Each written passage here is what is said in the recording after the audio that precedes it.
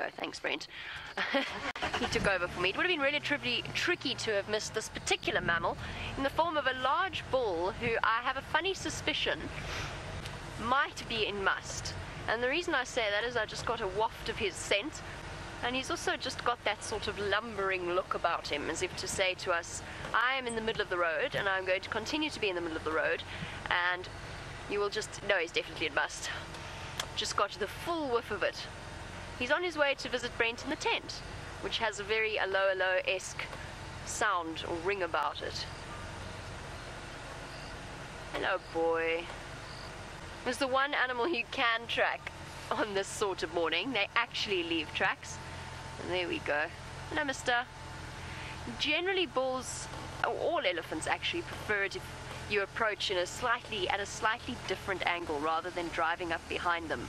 And you'll often find, if you have a look at some of the Kruger videos of the elephants that have become really very upset with various tourists, the you'll see quite a few times it's because the person has approached right up their bottom, which they really don't appreciate. So we'll give him plenty of room until he decides to turn and perhaps start feeding. Look at that lumber. And whilst he looks like he's moving unbelievably slowly, he is very rapidly covering ground. It's a slow walk for him, but with when your legs are that long and when you're that massive, even a slow walk translates into quite a rapid movement elsewhere. He's a massive boy. There are worse traffic jams to be stuck in on a th- Thursday morning. Yes, Thursday morning. a perfect way to start off our safari.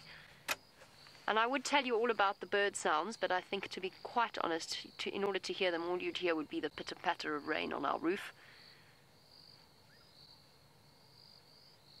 And what may or may not be thunder. Surely not. Can't be. We don't get thunder after two days of solid drizzle. There we go. Big boy. You're going to go visit Brent? Yes?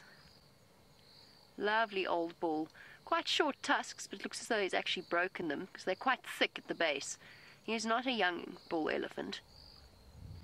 And of course, you can't judge an elephant's age by the size of the tusks themselves because each one is different. Each individual has different growth rates of their tusks. But generally, when you see a bull with thick tusks, it means that they are older than 30. They're starting to get to that point where the laying of ivory happens much more rapidly than it did. Bless you, BM. Than it did in their early in their early lives. This rain is making us all sneeze. Taylor's coughing. Liam's sneezing.